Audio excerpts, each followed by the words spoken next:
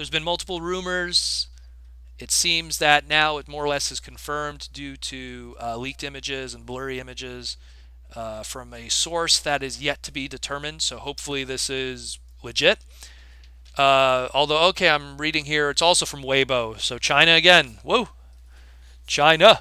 Um, so we have a masterpiece movie barricade coming, the MPM 5 Uh, that is rumored that's going to be a Toys R Us exclusive in the future, much like the Optimus Prime and the Bumblebee has been up to this point, which also will probably give you an idea of price point if you look at the Bumblebee.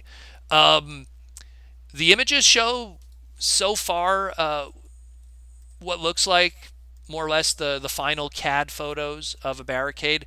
It looks like there's there's people that are uh, messing with the image to, to show that certain areas, like the what I like to call the fake transformation chests. Right. Like people are pointing out how like because people took the images and then broke down the images, going like, okay, uh, you know, this piece of the chest is not going to actually make the legit chest of the toy and stuff. Now we we got a pretty good.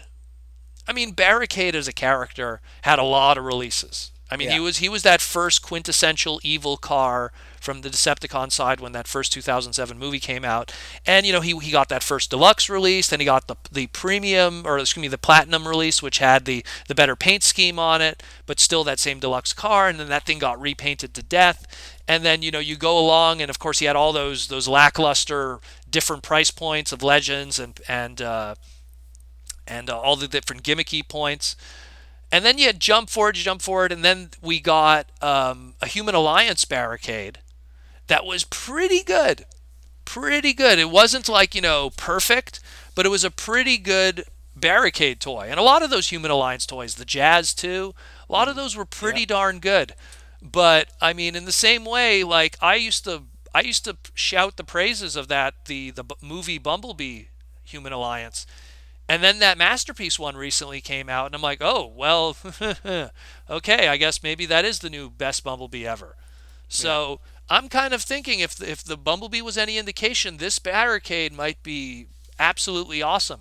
The only thing that we don't really know, um, it shows that he's he's going to have his his pinwheel of death gimmick that he had.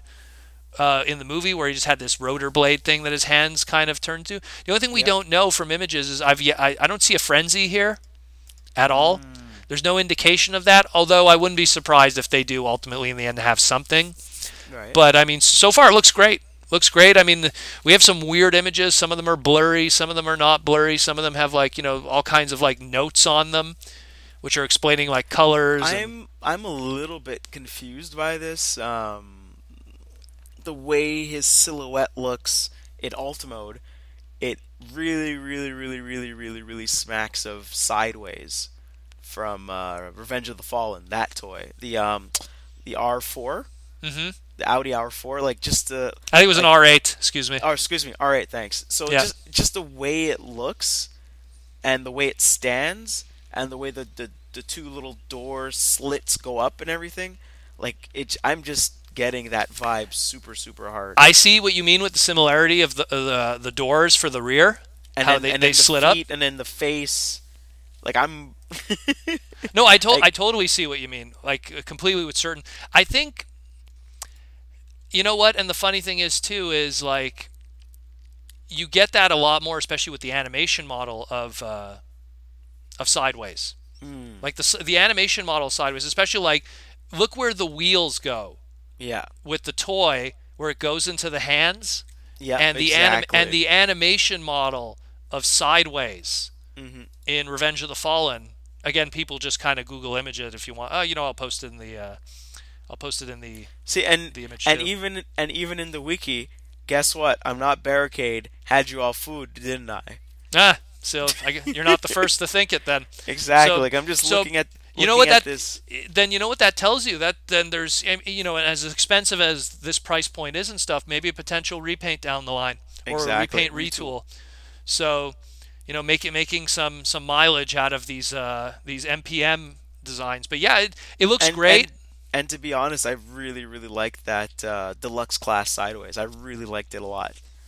That's gonna I be liked, so if if this does end up becoming a retool of Sideways in the future, I think I would hold off and buy that personally. That's just That's going to be an interesting reshelling, but then again, if if a lot of it is in the same places, I could see it happening. You know, because obviously the R8 uh, Audi is a lot rounder than the the Mustang here, this Shelby Mustang. Yep. Um, so, hmm, I don't know. Uh, but but either but no, it's a good observation though. There's the, the similarities are quite uncanny. So, Yeah. really makes you think. But uh, yeah, like Barricade is one of the. Um, I feel he's one of the few um, movie Transformers like made specifically for the movie that's been getting that's always been getting a lot of love, and I think maybe because Ford is just um, definitely willing to have that iconic Mustang car out there, and you know more nicer with the licensing comparatively to other maybe other car brands, and Barricade just gets so much love, and I'm you know I'm happy for him.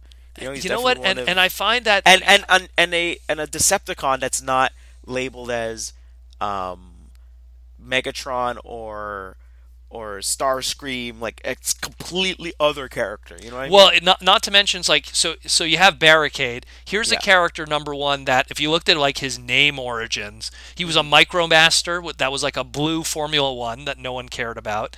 Then he was then he was just a name throw because they also had the name from Cops, who was a Yeah, character exactly, called Barricade. exactly. So then they just they're like, well, we got this name Barricade that's still kicking around from the MicroMaster and the Cops line. Eh, throw it on an Energon toy, the one that should technically be Onslaught, right?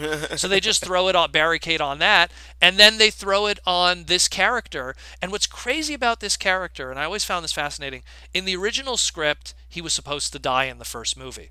In the comic book version, he does die. You see his head go flying off of his body. Optimus Right. Prime kills him. In the movie itself, we never see him die. He just kind of disappears, right?